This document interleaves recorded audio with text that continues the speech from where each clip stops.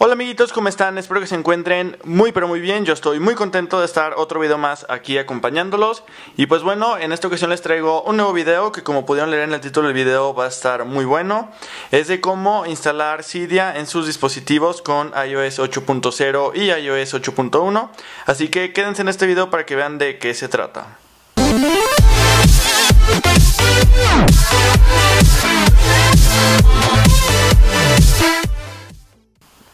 Y bueno, comencemos.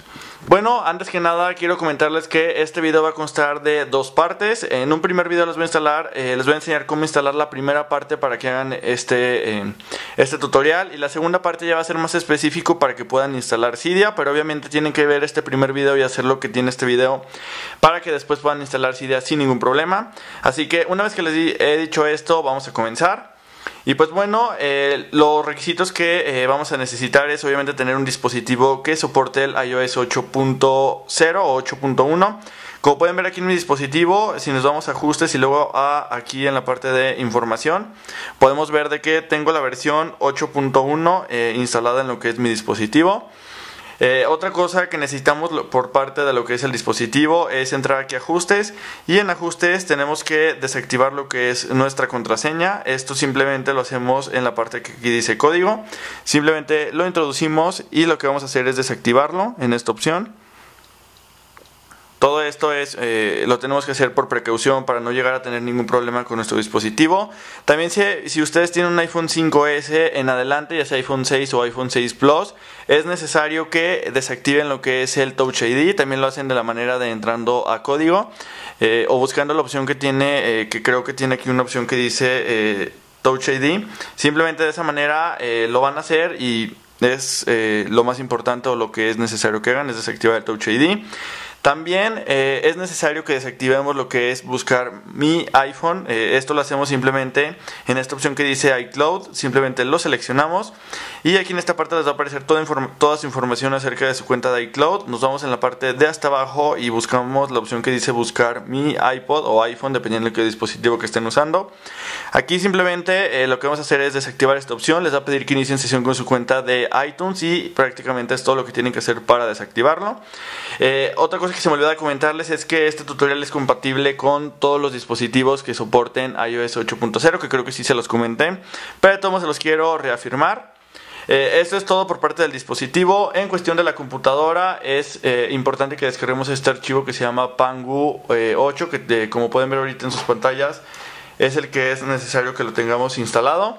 Eh, aquí abajo en la descripción del video les dejo el link para que lo puedan descargar. Simplemente buscan el que dice Pangu eh, y le dan clic y automáticamente les va a iniciar la descarga de este archivo.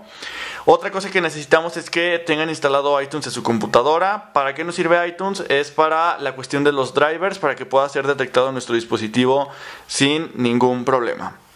Y bueno, una vez que les he dicho esto, eh, ya podemos comenzar con esta primera parte. Aquí simplemente lo que tenemos que hacer es eh, irnos a, eh, a, la opción de, del programa que les acabo de descargar. En este programa simplemente vamos a dar clic derecho y les vamos a, le vamos a dar clic en donde dice ejecutar como administrador. Les va a decir que si queremos ejecutar como administrador, simplemente le damos que sí.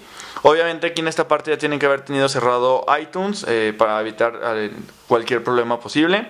Como pueden ver ahí está cargando lo que es la interfaz del programa. Eh, como pueden ver ahorita me acaba de detectar lo que es mi dispositivo. Aquí en la parte de arriba me reconoce que es un iPod Touch de quinta generación. Eh, es prácticamente todo lo que tenemos que hacer. Aquí simplemente quitamos esta palomita que tenemos en la parte de aquí abajo. Es para que nos instale más, eh, más cosas diferentes a lo que es este programa. Y nada más le damos a este botoncito que tenemos de color azul. Es prácticamente todo lo que tenemos que hacer. El programa va a empezar a funcionar, va a empezar a correrse. Yo eh, les voy a estar mostrando eh, alguna parte sobresaliente. En esta parte del video decidí adelantárselos para no hacerlos tan largo este video. Y pues lo único que hace es eh, reiniciar varias veces el dispositivo y este proceso toma alrededor de 4 a 5 minutos y nada más tienen que esperar a que se llene la barra de estado de lo que es el Pangu y eso es todo. Listo, como pueden ver el dispositivo ya se acabó de reiniciar, eh, la barra todavía está eh, rellenándose así que eh, lo más recomendable es esperar, de todos modos ustedes pueden desbloquear su dispositivo para ver si ya cambió algo que como pueden ver ahí ya se agregó una nueva aplicación que todavía no está completamente instalada, nada más es cuestión de esperar a que acabe de realizarse todo el proceso la barrita. En esta parte les volví a acelerar lo que es la cámara para que eh, vieran lo que es el último reinicio del dispositivo, ya para que esté por completo instalado el Pangu en nuestros dispositivos. Listo, como pueden ver ya se acabó de reiniciar eh, lo que es el dispositivo, aquí simplemente accedemos. Es muy probable que a ustedes se les haga un poco lento al primer inicio de este primer programa. Pero no se preocupen, no es ningún problema, es cuestión de que se ha agregado otro, eh, otra aplicación y por lo que causa estos problemas, pero la verdad nada más es en un primer inicio, así que no van a tener ningún problema. Si nos fijamos, eh, ya podemos ver que se ha instalado una nueva aplicación que como pueden ver se llama Pangu, igual como se llama en la computadora, es exactamente el mismo icono.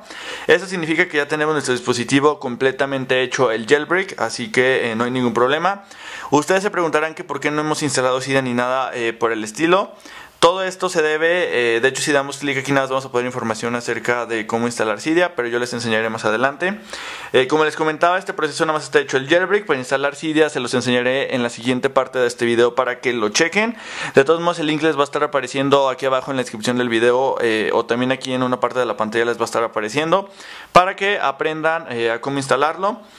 todo este proceso que realizamos ahorita es indispensable para el siguiente video, así que eh, es muy necesario que hagan este primer proceso y después hagan la siguiente parte de este video.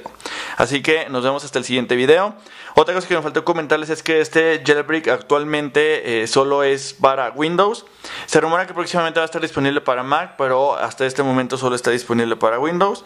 Así que... Eh, no se, esperen, no se desesperen los usuarios de Mac. Si son, si son ustedes usuarios de Mac, traten de conseguir lo que es el, un Windows o instalar una máquina virtual para que puedan realizar todo este proceso. Así que nos vemos en este siguiente video.